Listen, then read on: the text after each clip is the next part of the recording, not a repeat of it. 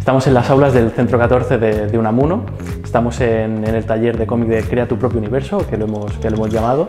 Tenemos aquí unos, cuantos alumnos que, están trabajando en un, one shot, ¿no? en, una, historia de cómic de, desde cero. Estamos, estamos estudiando todo el proceso desde, desde la idea, la elaboración del guion, del storyboard, del dibujo, diseño de personajes y demás no solamente para que hagan un cómic aquí, con nosotros, sino para que luego tengan las herramientas para continuarlo por su cuenta e intentar moverlo un poquitín y llegar incluso a publicarlo, aunque sea publicarlo en, medios digitales y demás, pero sobre todo estamos buscando el modo de que se vea su, obra.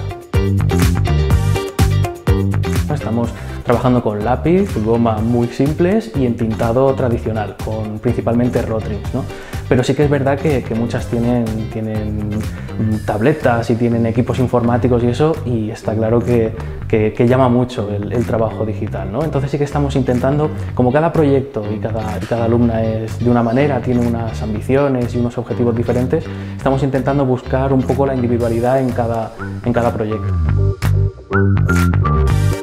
Este curso ha sido súper genial. Yo antes decía que yo ya sé muchas cosas de cómics, yo ya he estudiado mucho. Y no, llegué acá y ya me di cuenta que eh, hay muchas cosas de las que tengo que aprender. Aquí he mejorado mucho eh, el formato profesional, ahora es el formato un poco más profesional, técnico dibujo, en cómo hacer conversaciones. Ha sido maravilloso esta experiencia acá eh, en estas clases de aquí, es súper genial. El profesor también, fantástico, súper todo. A mí me gusta mucho contar historias, inventar historias, enseñar algo a través de mis dibujos, que, que se sientan identificados con algún personaje. Desde pequeño me ha, me ha encantado todo este mundo de cómics, que, que Spider-Man, bueno, un montón de cosas así, me ha encantado. Entonces yo dije, bueno, ¿por qué no? Yo también quiero hacer algo para, para la gente, que la, que la gente se entretenga y se divierta viendo mis historias.